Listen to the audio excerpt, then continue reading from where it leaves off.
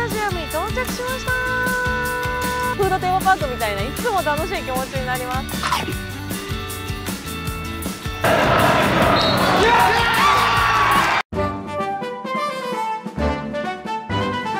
日産スタジアムに到着しました。今日はアビスパ福岡 J1 第2節ということでアウェイでございます、えー、私たち関東サポーターはアウェイ初戦ということで今日はね全力で応援してこようと思うんですがまだ開始2時間前なんですけどものすごい人で溢れています。ドキドキしますね。まだアビスパはこの日産の地で、えー、マリノス相手に1回も勝ったことがありません。なので今日は歴史を変える一日ということで全力で応援をしてきます。頑張れアビスパ福岡。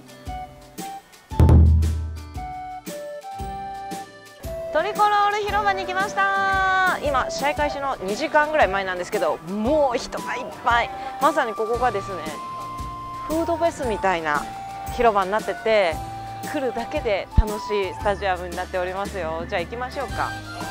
もういつもですねここでいろんなスタグルを何にしようかなって見るのが楽しいんですけど今日もね相変わらずお肉や、えー、スイーツいい香りがすでにたくさんしています。いいね。今日はねあのラムを買おうかなと。ラムだったり牛串だったり、えー、チーズステーキ牛タン。ここはね日立大で見たことあるお店ですね。あっちにはね FC 東京の、あのー、スタジアムで見たお店があったりとか結構関東近郊で出してるお店があったりとかね。あとねあのねいちごのあのワッフルみたいなお店いっつも並んでるんですよね。すごい美味しそう。食べたいなと思います。もう見ての通り本当に360度ぐるっとねスタグルがあってもうねここに来るだけでマジでフードテーマパークみたいないつも楽しい気持ちになります。もうにしても2時間前なんでこんなに人が多いってすごいなって思いますけどね。あっちにはステージなんかもあってもうここはね無料で入れるエリアなんで誰でも楽しめます。もうここに来るだけでね気持ちが高まりますね。西ゲート広場に来てます。こっちもねスタグルがものすごいたくさんあってねもう本当にフードパークフードテーマパークですよ。いろんな種類のがあるんですよ。もう肉やら、えー、こうメキシカン的な料理やら、えー、なんとここに豊洲直送の牡蠣生牡蠣。ちょっと見てみましょうかね。すごい。生牡蠣だったりバター味噌焼きだったり。ありますよ。最高です。美味しそう。それではサグラ宗谷岬間宮堂さんで買ってみたいと思いま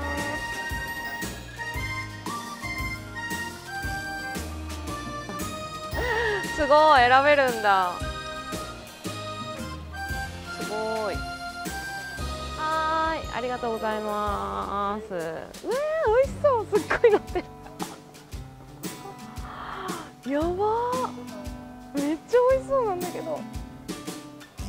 えー、マリノスのストグルエリアにはこうやってホスピタリティデスクというのがあって寒い日はこうやってカイロを配っています。素晴らしい。なんて嬉しい取り組み。今日は夜やし寒いしね。あとこっちにはあのこうやってビニール袋をいただけたりいろいろこうおしぼりとかフォークとか割り箸とかスプーンとか紙皿とかいろいろあってあなんて親切なんでしょうという気持ちです。ありがとうございます。それでは今日のスタグル。ガレットソーセージ入りです。食べてみようと思います。手に持ちやすいです。うん。この中のソーセージがハーブが練り込んであってすごくプリプリしてて美味しいですしこのクレープの外の生地ガレットがそば粉でできてるんですけどもうまず口かぶってした瞬間にそば粉のいい香りが鼻からツーンと抜けてめちゃめちゃ美味しいですね。まさにご飯クレープ。持ちやすい。手も汚れない。美味しいです。ホタテしらす丼をいただいてみようと思います。びっしりのホタテにびっしりのしらすが入っています。美味しそう。いただきます。ホタテから。プルプル表面はしっかり炙ってあるんですけど中はねとろっと美味しいホタテですよ。もう桜エビも乗ってるしこっちのねしらすの方も食べようと思います。わもうすごい。しらすの層が厚い。いただきます。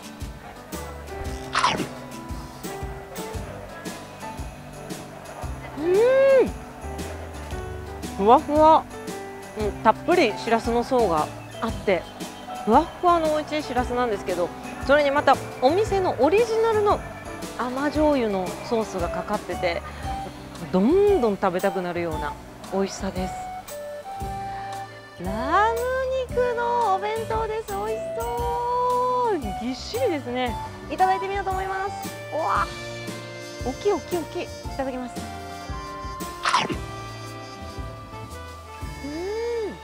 うん。濃厚。ラムなんですけど全然臭みがなくって。柔らかいんですよ。でも一個一個分厚いので噛めば噛むほどすごく美味しいラムの香りがしてきます。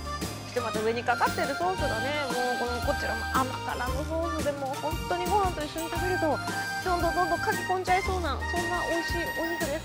うん美味しい。